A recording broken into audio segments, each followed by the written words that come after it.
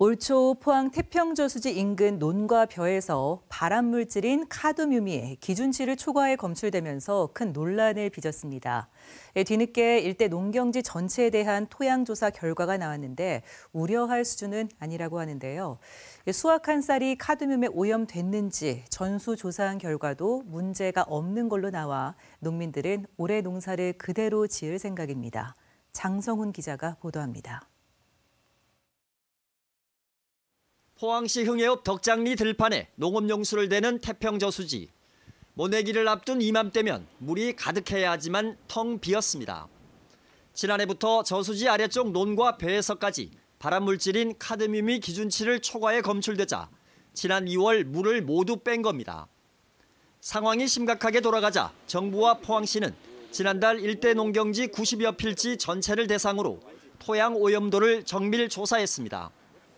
조사 결과 문제가 된 카드뮴이 기준치 이상으로 검출된 논은 없었습니다.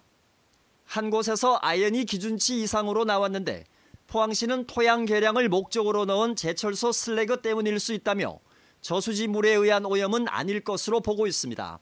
전수 조사를 했습니다. 해서 어, 토양 조사 결과 어, 한 필지를 뺀 96필지는 안전한 기준으로 검출이 됐습니다. 그래서 그 한 필지는 우려 기준인데 그거는 저희들이 그 토양 계량지를 살포하도록 또 수확한 쌀의 유통 경로를 전수 조사했더니 당초 카드뮴이 기준치 이상으로 검출돼 폐기 처분된 220kg을 제외하고는 모두 기준치 이하인 것으로 확인됐다고 밝혔습니다.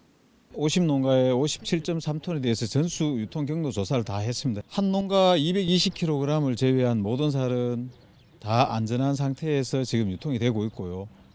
포항 지역 쌀에 대한 불안감 확산으로 걱정해온 농민들은 포항시의 조사 결과에 가슴을 쓸어내리며 올해 벼농사를 그대로 짓기로 했습니다.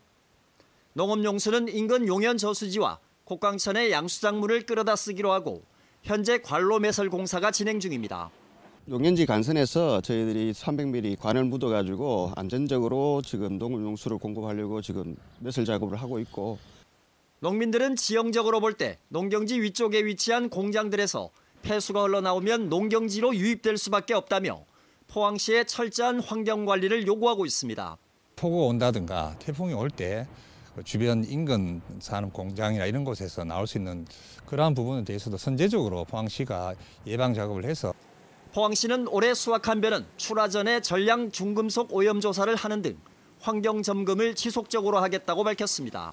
MBC 뉴스 장성훈입니다.